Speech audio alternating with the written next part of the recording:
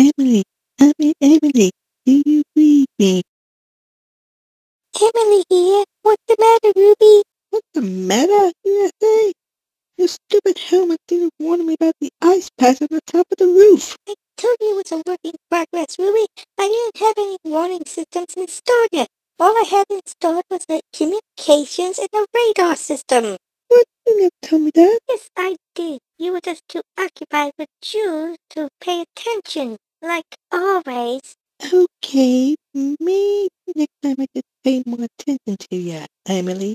Ah, shh. I think I hear something in the apartment right next to me. Quick, Ruby, hit your cloaking button. I have a cloaking button? It's the giant button that looks like your face.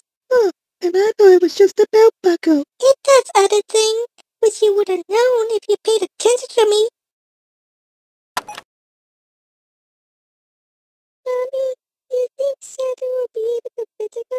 Year? I don't know, sweetie. Maybe, but I can't really be sure.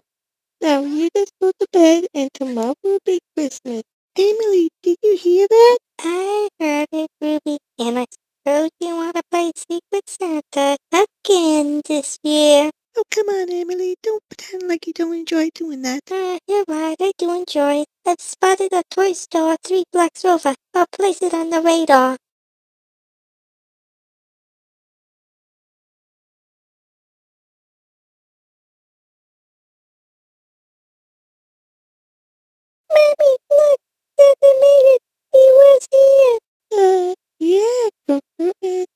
really amazing, uh, it's super perfect I need to make a phone call to someone.